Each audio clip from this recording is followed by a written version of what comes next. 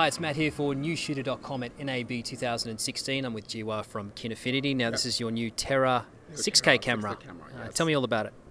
Um, Terra 6 camera and uh, 5K cameras is uh, launched this year, and it's a whole new cameras with a very compact and lightweight camera body aggressively, I think. And also, it's uh, very different from other Canon cameras before. It will has in-camera in-camera ProRes 422 HQ recording directly.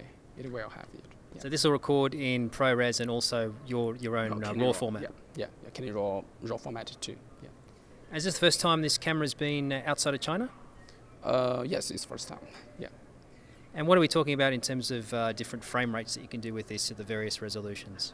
Uh, for the 6K cameras and its uh, frame rate is can uh, for the 4K that will be 4K uh, wide 100 FPS, and for the 3K is 150 FPS, and for the 2K that will be over 200 FPS. And for the 5K cameras, the, four, uh, the 5K will up to 60 FPS, and for the 4K that also will be 100 FPS.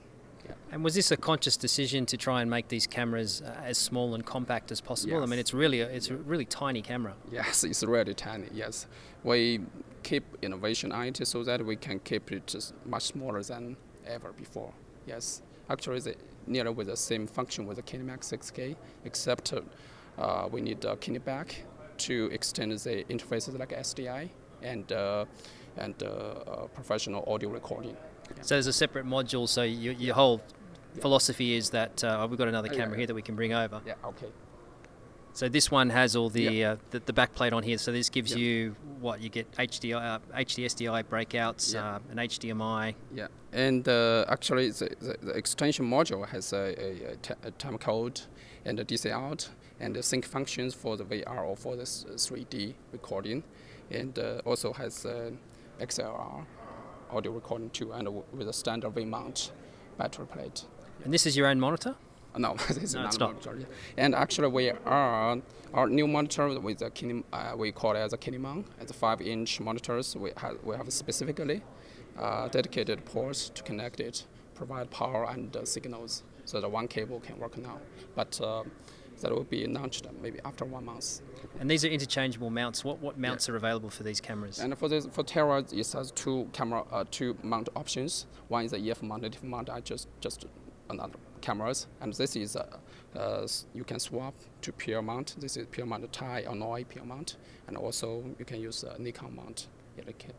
What sort of price are we looking at for the 6K and the 5K camera, and, and when are they going to start shipping? Uh, okay, that's an important question.